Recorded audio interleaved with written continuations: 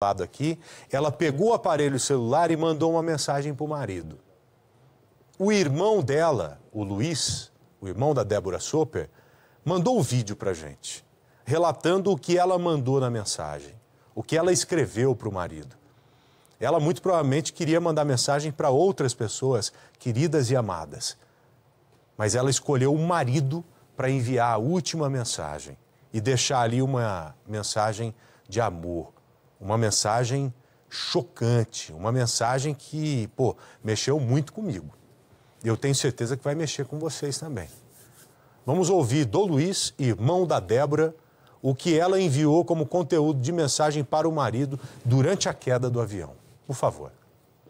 A Débora viveu o sonho dela infelizmente, ela morreu fazendo o que ela mais gostava, que é voar.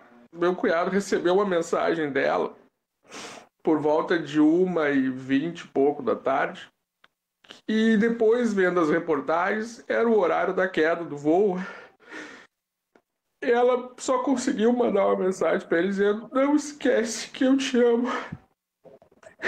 E eu acho que não deu tempo dela mandar essa mensagem para mim, porque eu sei que ela mandaria também se tivesse tempo para o pai e para a mãe. Então, eles são preparados para situações de emergência, mas nós não somos, né?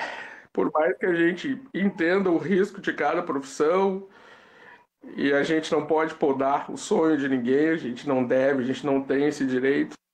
Ô Luiz, meu amigo, nossos sinceros sentimentos a você, a todos os seus familiares e todos os familiares envolvidos diretamente nessa tragédia, pessoas que estão enlutadas. Forte, não é?